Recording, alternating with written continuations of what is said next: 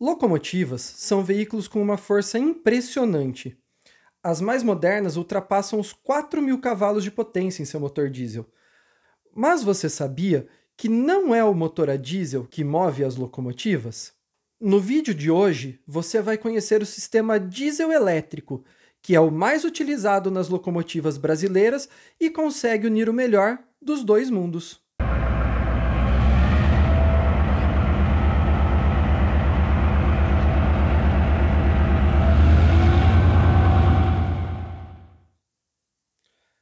Bem-vindos a bordo de mais um vídeo na Trilha dos Trilhos, André Geringer aqui, e hoje a gente vai te contar como funciona o sistema diesel elétrico, presente em quase 100% das locomotivas utilizadas para transporte de cargas aqui no Brasil. Mas antes a gente vai voltar um pouquinho mais no passado e entender como é que começou esse negócio de transportar cargas, transportar pessoas em cima de trilhos. No começo do século XIX, mais precisamente em 13 de fevereiro de 1804, foi feita a viagem inaugural da primeira locomotiva do mundo, chamada de cavalo mecânico. Construída pelo galês Richard Trevithick, eu acho que é assim que se pronuncia. Tratava-se de um aperfeiçoamento da já popular invenção de James Watt, a máquina a vapor. O protótipo, no entanto, era muito rudimentar, composto de uma caldeira horizontal apoiada em quatro rodas que inspirou muita desconfiança nas pessoas. A ideia de Trevithick era substituir os cavalos que eram utilizados nas minas de carvão, aumentando a capacidade de escoamento de produção numa época em que a demanda pela matéria-prima estava em alta, exatamente para alimentar a quantidade crescente de máquinas a vapor que existia nas cidades. Apesar da desconfiança, o cavalo mecânico de Trevithick foi capaz de levar 70 pessoas e 10 toneladas de ferro por uma distância que totalizou 15 quilômetros de trilhos, num trecho que antes era percorrido com tração animal, causando euforia nos presentes. Mesmo precisando de aperfeiçoamentos, foi dado ali o passo inicial daquela que seria a invenção responsável por revolucionar a forma com que as pessoas transportavam matérias-primas e pessoas era o começo da história das locomotivas, tida por muitos como a maior invenção do século XIX e responsável por um grande empurrão na economia global. Por mais de 100 anos, a tecnologia do vapor foi utilizada em larga escala, mas nas primeiras décadas do século XX, essa tecnologia estava chegando perto de seu limite. Motores a vapor consumiam grandes quantidades de carvão e óleo combustível, além de água que era utilizada nas caldeiras. Precisavam de manutenção constante e era uma manutenção complexa devido à grande quantidade de partes móveis. Elas precisavam ser abastecidas constantemente com material combustível e reabastecidas com água várias vezes ao longo de seu percurso, e isso impactava em seu custo operacional. Além disso, são máquinas que levavam um tempo considerável para acelerar até velocidades mais altas e tinham dificuldades para manter a velocidade em trechos íngremes. Nessa mesma época, uma tecnologia que mudaria tudo estava sendo aperfeiçoada e não demoraria muito para chegar às locomotivas. Era o motor a diesel, que foi criado por Rudolf Diesel, patenteado em 1892 e já em 1897 o próprio inventor substituiu o motor a gasolina de um caminhão por um motor a diesel para demonstrar sua eficiência. O experimento foi um sucesso, já que o motor a diesel tem mais torque, que é a capacidade que um motor tem de fazer força, e é o que mais importa na hora de tirar grandes massas, como a de um caminhão, da inércia. Depois que o veículo está em movimento e ganhando velocidade, a potência passa a fazer a diferença. Mas em veículos pesados, que geralmente não precisam desenvolver grandes velocidades, o torque costuma ser muito mais importante, e eu quero que vocês guardem essa informação. Além de ser um motor que tem mais torque, o diesel também tem maior capacidade de queima do que a gasolina. Ou seja, um veículo movido a diesel costuma fazer mais quilômetros por litro do que um similar à gasolina.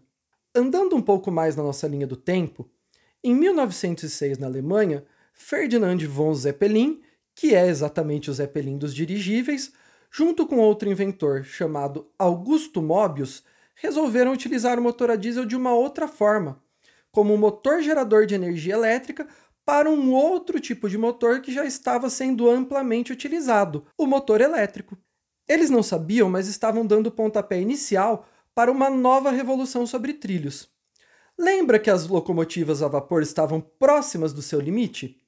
Alguns países, como Suécia e Noruega, já estavam começando a substituir as suas locomotivas a vapor por locomotivas elétricas, desde meados dos anos 1880.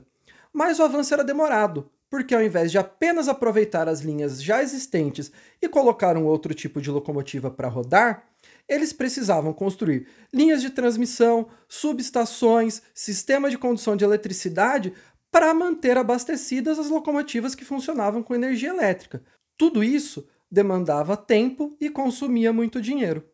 E agora, nesse ponto, você deve estar se perguntando: tá, mas e por que, que precisavam combinar diesel e eletricidade para revolucionar tudo? Não podia colocar só um motor a diesel? A verdade é que eles até poderiam, mas eles esbarravam numa característica bem particular dos motores a combustão. Qualquer pessoa que já dirigiu um carro, ou que pelo menos esteve dentro de um carro em movimento, sabe que ele tem um sistema de câmbio para que sejam feitas as trocas de marchas, sejam elas manuais ou automáticas. Quando o carro começa a acelerar em primeira marcha, ele ganha um pouco de velocidade e você tem que trocar para a segunda. Ganha um pouco mais de velocidade, tem que colocar a terceira. E assim ele vai indo até que chegue na última marcha. Aí chega uma subida íngreme, você tem que reduzir a marcha para que o carro mantenha a velocidade na subida. Terminou a subida, você volta a acelerar, o carro ganha velocidade, você vai aumentando as marchas novamente e assim sucessivamente.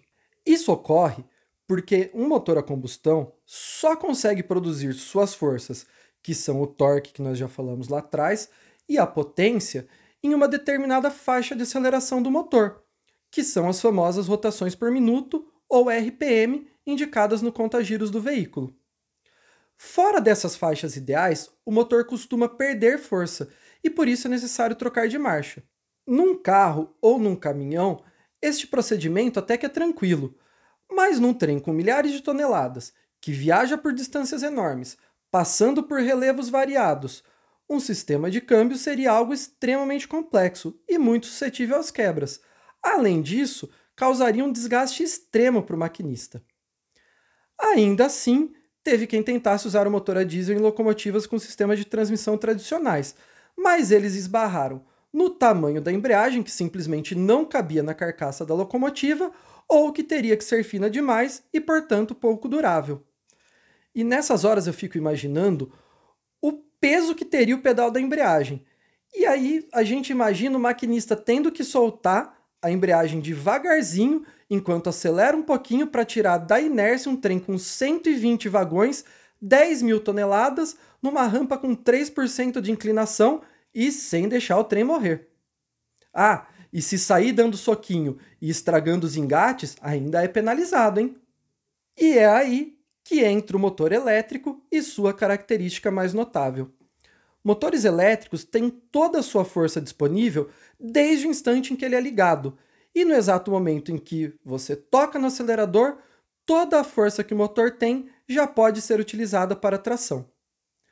Uma vez iniciado o movimento, toda a potência continua disponível até a velocidade máxima, sem a necessidade de um sistema que troque de marchas. E juntando as principais características dos motores diesel com os elétricos, surgiu em 1933 a primeira locomotiva diesel-elétrica do mundo.